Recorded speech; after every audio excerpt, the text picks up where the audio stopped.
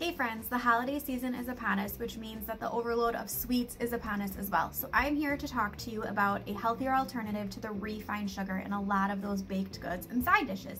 And that alternative is pure maple syrup. So some of the benefits of pure maple syrup is that it is loaded with antioxidants, vitamins, and minerals because it is much less processed compared to refined sugar. The antioxidants have been proven to be anti-inflammatory, so it helps to reduce inflammation versus cause inflammation like refined refined sugar, which is a much higher inflammatory food. Maple syrup also has a much lower glycemic index, meaning that your blood sugar will maintain stable versus the spikes and going up and down when you eat refined sugar and your blood sugar goes up and then it spikes down. With pure maple syrup and that lower glycemic index, it'll remain at a stable spot the whole time.